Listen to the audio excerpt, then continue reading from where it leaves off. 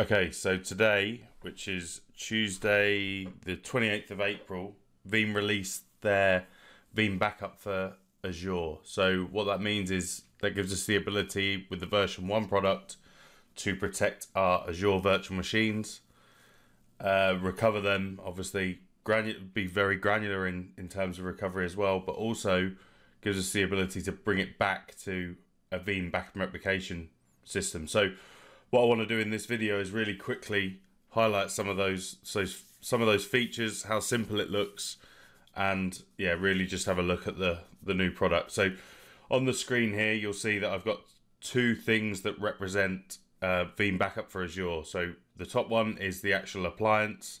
This is where all the management and the configuration happens. And this VBA hyphen with the long UUID is one of our workers. I'll get onto what those workers are, but if you're familiar with Veeam, think of them as kind of like a proxy. This is what's going to move data from here, there, and everywhere. Um, what you'll find is these will be situated in each location that you require.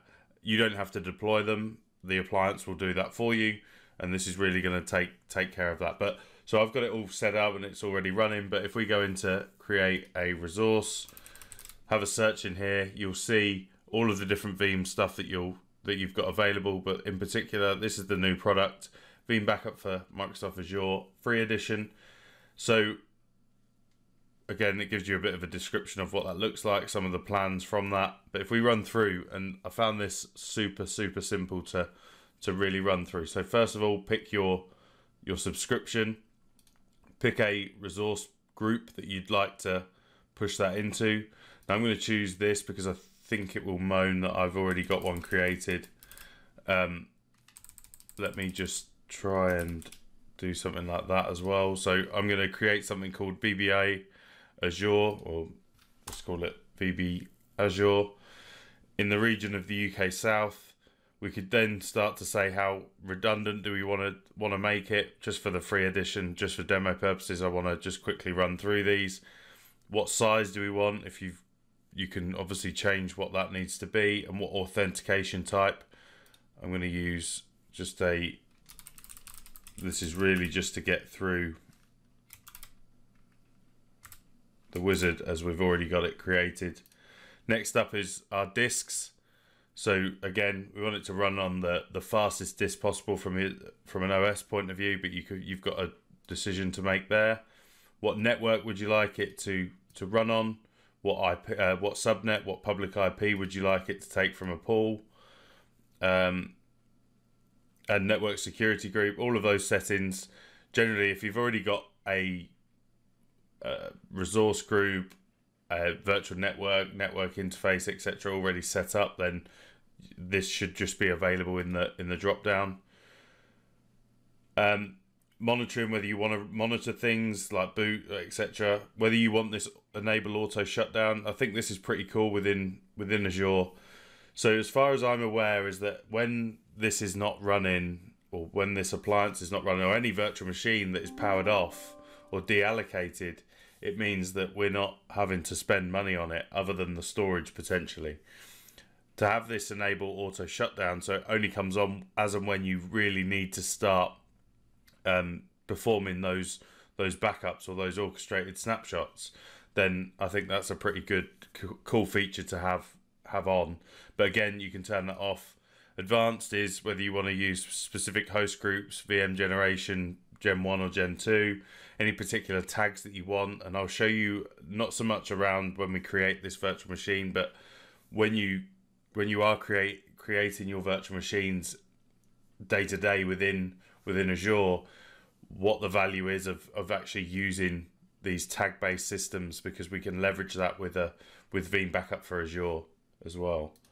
So what that'll do is that will then give us that and allow us to then go and go and create that. Now I've already created it, so I don't want to waste time and and go and create another one in a different region because ultimately you only need one. So if you've got multiple regions that you're you've got workloads within and you need to protect, you still only need one Veeam backup for for Azure instance that will allow you to protect all of your regions and across region as well. So while that's thinking about what it's doing, I'm going to jump into so the forward facing IP, and don't worry, this will be gone by the time.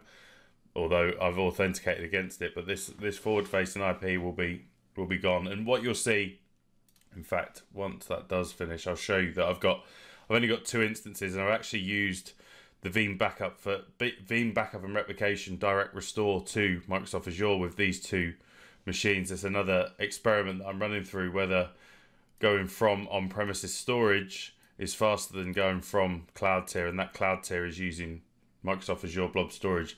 So some more things to come uh, later on around that. So when you first come in here, you've got three things that you have to do before you can do anything else. First of all, we have to add a Microsoft Azure connection, so that will be to your Azure subscription and to your storage accounts. Then we're going to look at our review or our workers.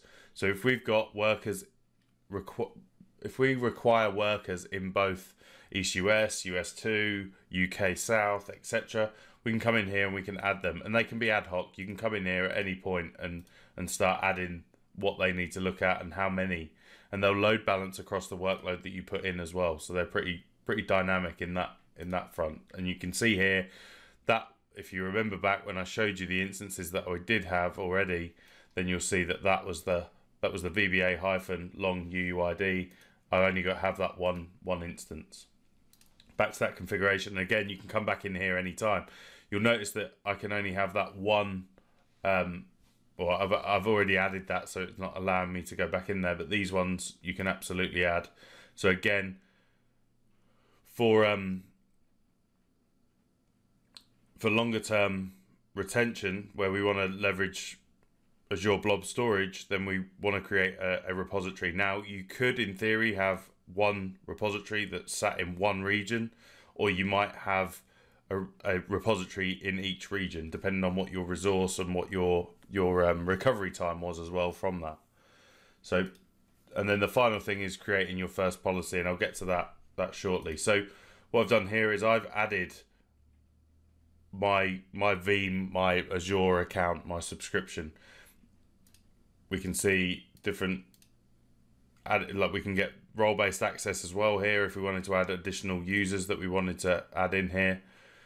We've got our repositories that I've just shown you and we can go in here and we can add additional repositories and you can have multiple repositories in the same region as well. These are, these are our workers We've got our server settings, things like retention, things like certificates, email settings for notifications, and what our our system looks like from a backup point of view. Obviously, if we want to be able to back up ourselves in terms of this appliance, then we can trigger that here. Licensing, so I'm using the free license. This will give us access to two instances, fully functional within with 10 instances in total, but there is another two two license models um, appearing um, later on down the line as well.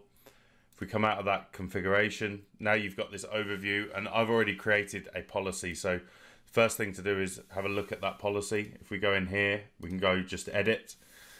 So I'm going to give it a name. So I'm going to protect all of my VMs or some of my VMs that I store in Azure US East, simply because that's where our lab is and that's where I want to be able to protect that.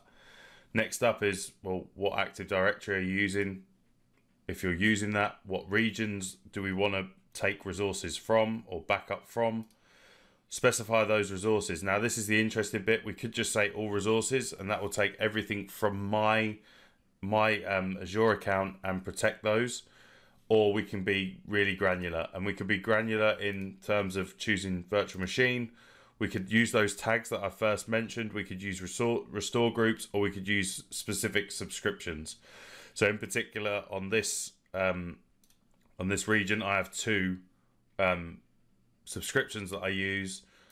So I could choose to to protect the whole of, of one of those subscriptions as well if I if I so wished. We can also exclude. So if you if you can imagine if we're going to take a whole resource group, there might be some things in there that you want to exclude from a from a virtual machine point of view.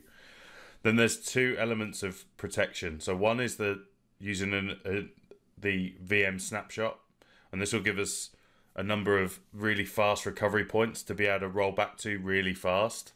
But then we've also got the backup settings, which is going to push everything down into object storage or, or Microsoft Azure Blob storage.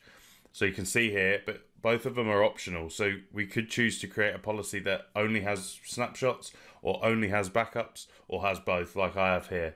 So they run pretty much in line with each other, straight after each other, and I'll get onto what that looks like.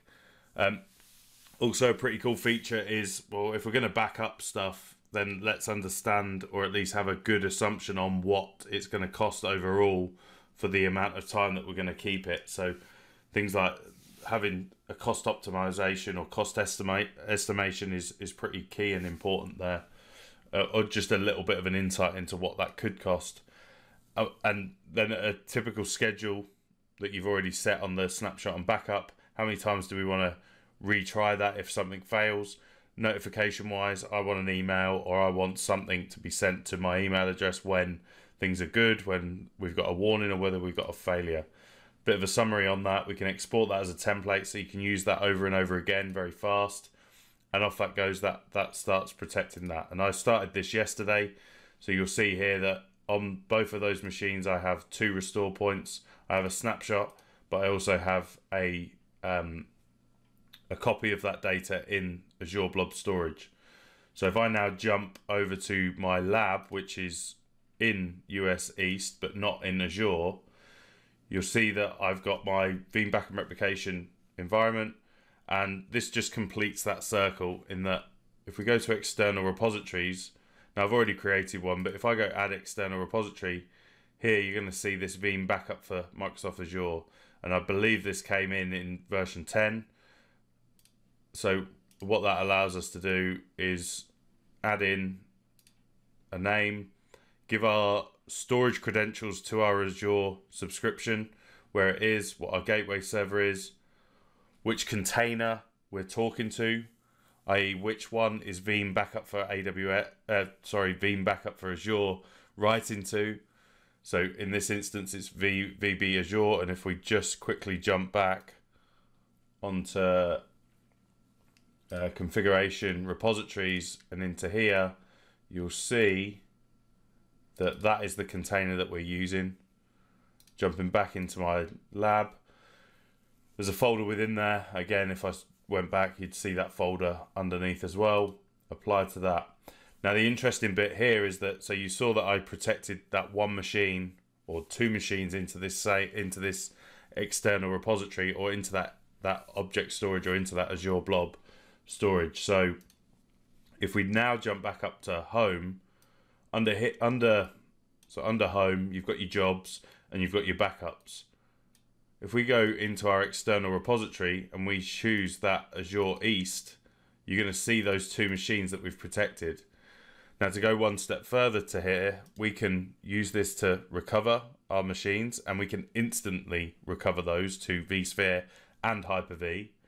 We could if we choose to we can directly restore that back into Amazon EC2. We could put it back into Azure, depending on where this Veeam backup and replication server was, because obviously that'd be pretty pointless because unless you were going to put it into a different account, and in which case um, you'd probably have the VBR server up in Azure. But ultimately, this this this backup is sat in Microsoft Azure Blob Storage, but we can stream that down. We can do individual um, guest files um, recovery as well. On top of that, and this is the big question that I had this morning was talking about this was, okay, so that's all of my data in Azure. What if I wanted a copy of that data somewhere else? So we could absolutely achieve that by if we create a backup copy job, we can take that that backup copy job. Let's just go through that again. Azure IaaS you see here. We can then give it a name. We can say when do you want it to happen. We can then choose that backup job that we, we have. We can be granular about what we what we want to add, or we can just choose the whole the whole job.